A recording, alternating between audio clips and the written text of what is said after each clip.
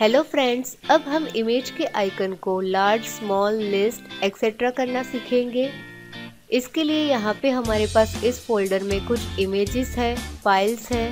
इसमें हम files PDF folder images कुछ भी हो सकता है।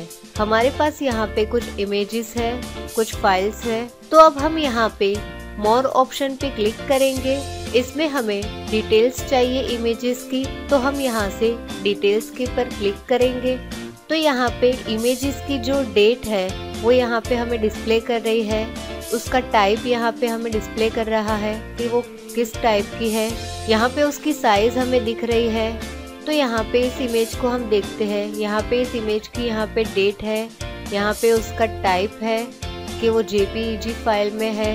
उसकी यहाँ पे साइज़ है, जो कि केबी में है।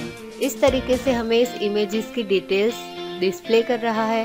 अब हम मोर ऑप्शन में से इसे एक्स्ट्रा लार्ज आइकन में देखना चाहते हैं तो हम यहाँ से एक्स्ट्रा लार्ज आइकन्स पे क्लिक करेंगे। तो देखिए यहाँ पे इमेज हमारी जो है वो एक्स्ट्रा लार्ज हो गई है। अब हम इसमें चेंजेस करेंगे। हम इसे मीडियम आइकन में देखना चाहते हैं तो हम ऑप्शन में से मीडियम आइकन पे क्लिक करेंगे। तो ये इमेजेस जो है, अब वो मीडियम आइकन में हो गई है। उसके बाद अगर हमें इसे स्मॉल आइकन में देखना है तो हम स्मॉल आइकन्स पे क्लिक करेंगे।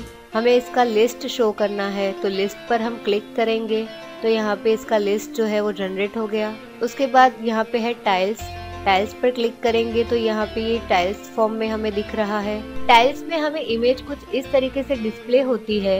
इमेज की राइट साइड पे यहाँ पे इमेज का नेम उसकी साइज़ और उसका टाइप जो है, वो हमें डिस्प्ले करता है। और यहाँ पे है कंटेंट तो ये कंटेंट हमें डिस्प्ले कर रहा है। अब यहाँ पे इसकी कुछ शॉर्टकट की भी है। जैसे कि हम यहाँ से alter plus V plus S press करते हैं। तो देखिए, यहाँ पे ये टाइल्स फॉर्म में हमें डिस्प्ले कर रहा है। इसे हम यहाँ पे व्यू में जाके देख सकते हैं।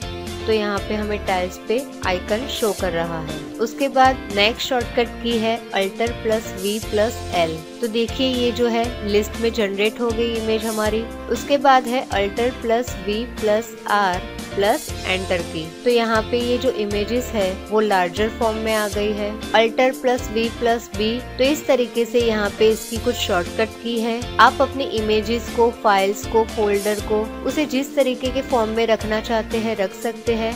जैसे कि लार्ज है एक्स्ट्रा लार्ज है मीडियम है स्मॉल है. जिस किसी आइकन में रखना चाहते हैं लिस्ट बना के रखना चाहते हैं, उस तरीके से रख सकते हैं. Thank you